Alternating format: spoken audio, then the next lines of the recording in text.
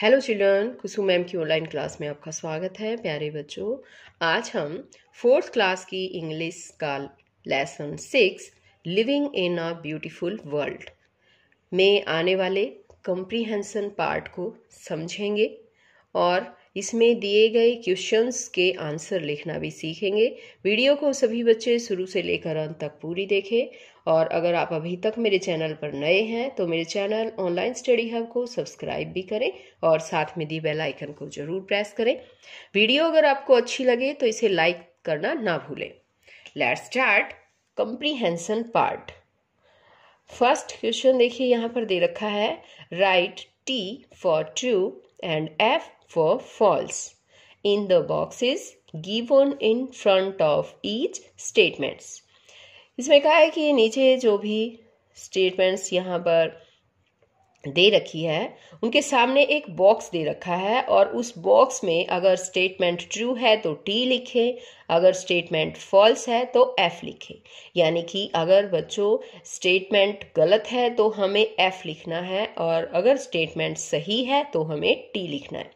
First statement देखते हैं। People throw even useful things outside लोग बाहर यूजफुल थिंग्स यानी उनके जो यूज़ करने वाली चीज़ें हैं, वो भी बाहर फेंकते हैं। फेंकते हैं क्या? No no. तो यहाँ पर आएगा फॉल्स का एफ़ लिखेंगे हम। Second statement is the heaps of garbage look ugly and unpleasant कि जो कूड़े करकट का ढेर है, वो भद्दा और गंदा लगता है। है ना?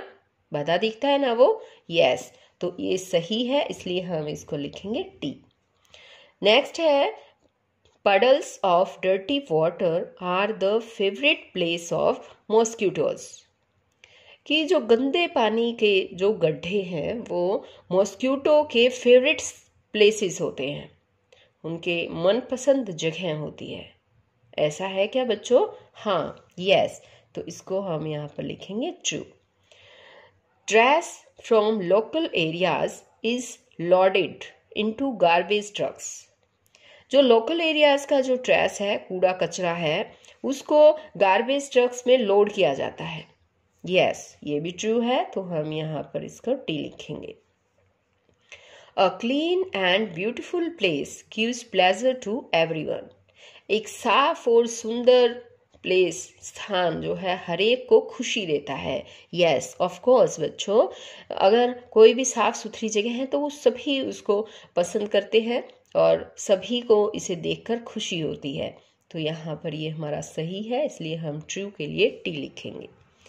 सेकंड क्वेश्चन दे रखा है कि आंसर द फॉलोइंग क्वेश्चंस नीचे दिए गए क्वेश्चंस के आंसर दे। तो यहाँ पर देखो फ़र्स्ट क्वेश्चन है हमारा list some of the the things people throw into dustbin उन चीज़ों की हमें लिस्ट बनानी है लोग जिसको डस्टबिन में जिन्हें फेंकना चाहिए। कौन कौन सी चीज़ों को फेंकना चाहिए? तो इसका आंसर देखिए, आएगा waste papers plastic bottles empty packets wrappers etcetera अब सेकंड क्वेश्चन है how do the drains get choked drains जो है, वो चौक कैसे हो जाते हैं?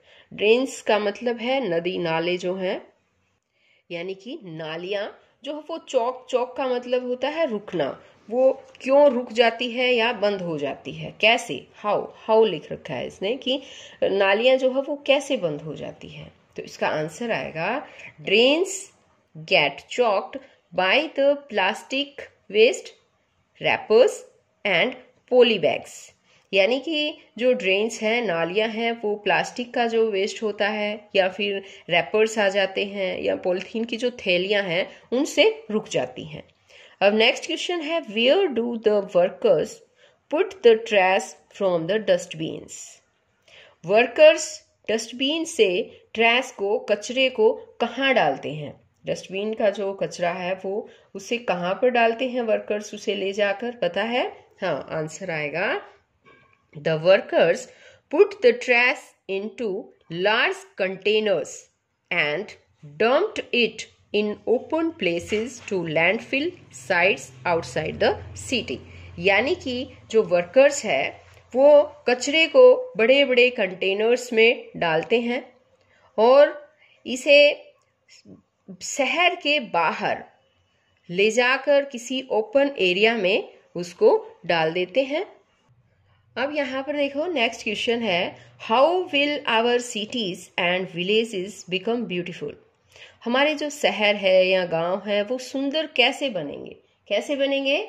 Our cities and villages will become beautiful if we learn to recycle the waste materials हमारे शहर और गाँव सुंदर बनेंगे यदि हम वेस्ट मटेरियल को रिसाइकिल करना सीख जाए, यानी इसका पुनर्चक्रण करना सीख जाए।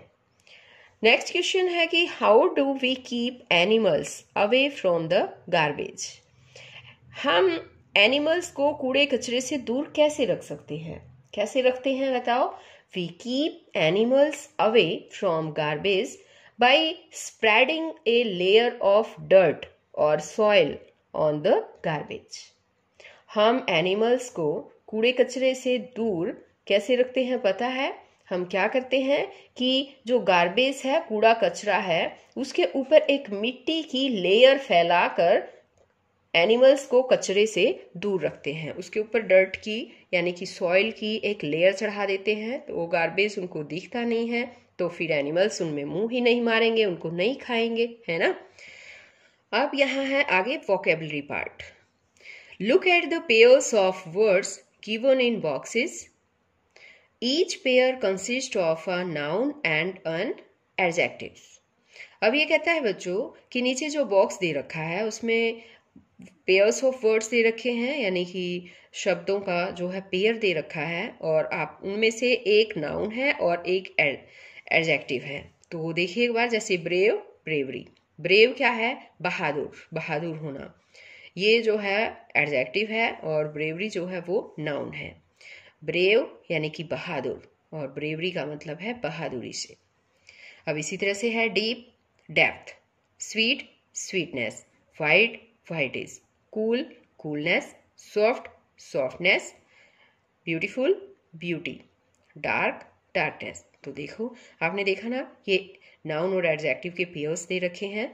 अब ये कहता है कि now complete the following sentences by using correct words given in the boxes अब अब ये कहता है कि जो नीचे कुछ सेंटेंसेस दिए गए हैं और आपको जो ऊपर ये बॉक्सेस में जो वर्ड्स दे रखे हैं, उनमें से करेक्ट वर्ड्स को यूज़ करके इन नीचे दिए गए सेंटेंसेस को कंप्लीट करना है। यहाँ पर देखो the weather is dash today तो पहले तो बच्चों, आप ये ध्यान से समझो कि नाउन क्या होता है और एडजेक्टिव क्या होता है।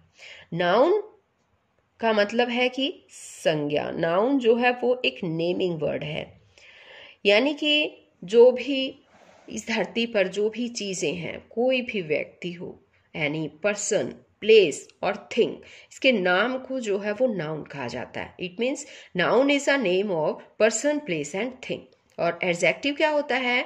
एडजेक्टिव होता है जो adjective is a word which qualify noun और प्रोनाउन जो नाउन और प्रोनाउन को क्वालिफाई करता है, यानी कि नाउन है, जो नाउन है या प्रोनाउन है, उनकी विशेषता बताता है, वो होता है एडजेक्टिव यहाँ पर देखो the weather is dash today यहाँ ऐसे था।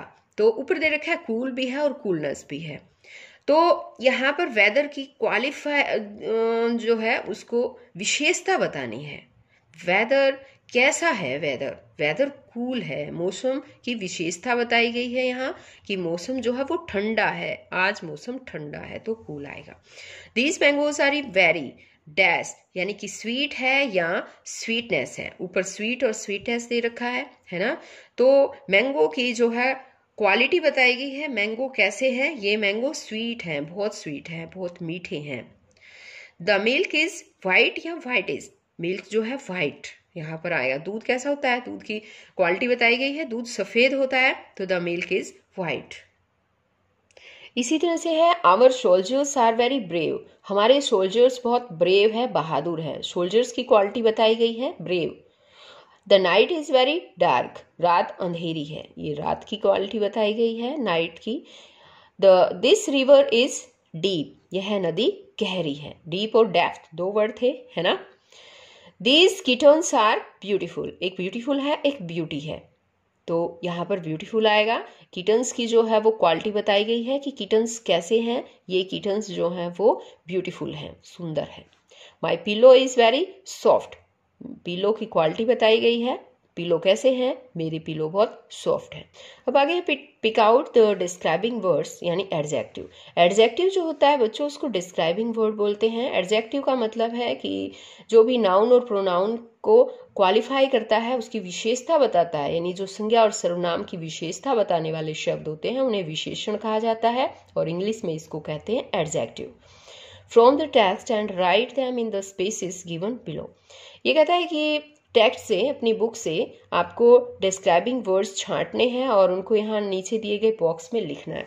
तो देखिए, इसमें मैंने कुछ वर्ड्स छांटे हैं, जैसे एक है अगली और यहाँ पर अब इसके बाद नेक्स्ट है, जैसे कि है स्मॉल अब हम लिखेंगे बैड एक है जैसे कि डर्टी और है फिल्दी और क्लीन ब्यूटीफुल और ह्यूज आप भी बच्चों अपने टेक्स्ट से जो है, आपको भी अपने नए नए डिस्क्राइबिंग वर्ड्स जो हैं वो पिक आउट करने हैं और यहाँ पर उनको लिखना है ओके अब है find in the grid the words given in the box and circle them one has been done for you अब ये यहाँ पर कहता है कि बॉक्स में दिए गए वर्ड्स जो हैं, वो आपको ग्रिड में ढूँढने हैं, उनको सर्कल करना है। ये देखो, ये बॉक्स दे रखा है और यहाँ ये आगे कहता है कि एक आपको करके भी दिखाया गया है। ये देखिए, इस तरह से सर्कल करना है। फॉइल फॉइल ढूंढना है यहाँ पर हमें कि फॉइल कहाँ है। तो ये देखो, ये रहा फॉइल है ना? और इसको हमें इस तरह से सर्कल कर देना है। अब जैसे कि है लैंडफिल अब इसमें लैंडफिल ढूंढो बच्चों, कहाँ पर है? हम्म लैंडफिल ढूँढने में मेरी हेल्प करो। ये ये रहा लैंडफिल ये देखिए। आपको करेक्ट स्पेलिंग भी देखनी है बच्चों। अब है जैसे कि डंप अब डंप कहाँ पर है यहाँ पर? आप डंप ढूंढो. ये रहा. ये देखिए. D U M P dump अब है फर्नेस और फर्नेस कहाँ पर है? देखो एक बार. हम्म.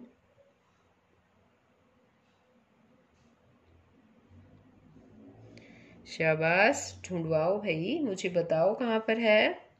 ये रहा, ये देखो। है ना?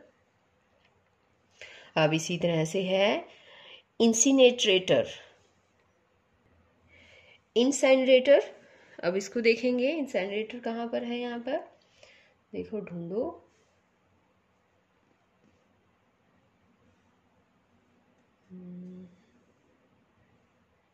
ये रहा, है ना?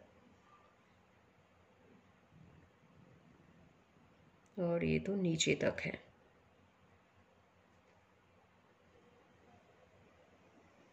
ये देखिए इंसाइनरेटर हो गया ये तो। अब आगे है गार्बेज अब गार्बेज देखिए कहाँ पर है। हम्म। गार्बेज गार्बेज ये रहा। यहाँ पर है ये गार्बेज अब नेक्स्ट देखो है प्लास्टिक और प्लास्टिक कहाँ पर है यहाँ? हम्म। ये रहा प्लास्टिक आपको भी बहुत केयरफुली जो है ये अच्छी तरह से देखना है। आगे है ट्रेस अब ट्रेस को ढूंढवाओ। ये रहा ट्रेस अब इसी तरह से एक रहता है पेपर और पेपर ये इसने खुद ही कर रखा है है ना? तो ये सारे वर्ड्स जो है वो हमने ढूंढ दिए हैं। यहाँ पर देखिए थोड़ा दिखाई नहीं दे रहा था कि आपको? यहाँ पर देखो अब, ठीक है? इस तरह से। आगे इसने दिया है letters of some words are in jumbled form कुछ वर्ड्स के लेटर्स जो है जम्बल्ड फॉर्म में है।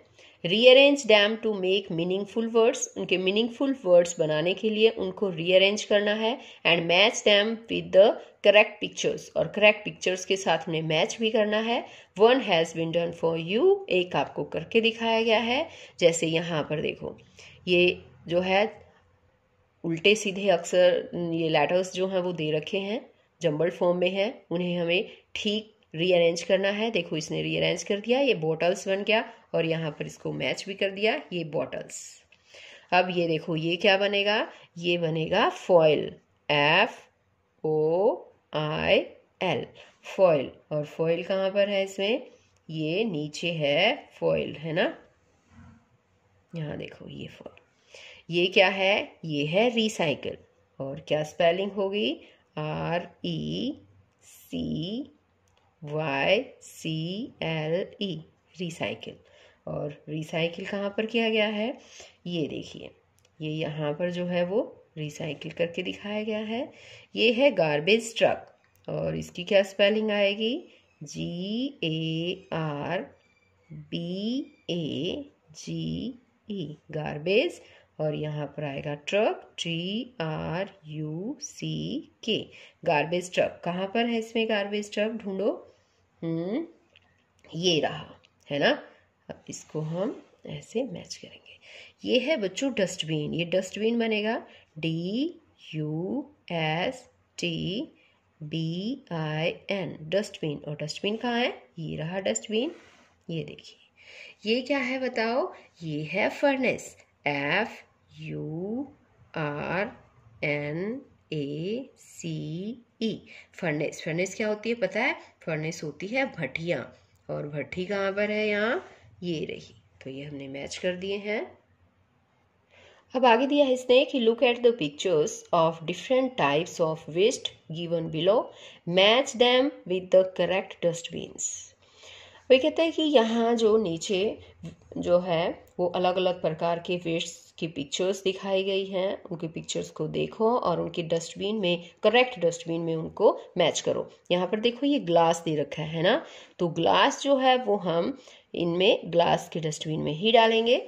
अब है वेजिटेबल्स एंड फ्रूट्स पील्स यहाँ देखो, ये वेजिटेबल्स और फ्रूट्स के जो हैं, वो पील्स हैं, छिलके हैं। इनके छिलकों को हम बायो या किचन वेस्ट में ही डालना चाहिए, उसके डस्टबिन में ही डालना चाहिए।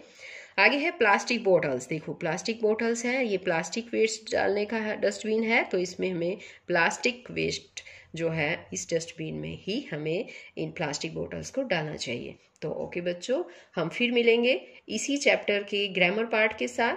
तब तक के लिए बाय बच्चों।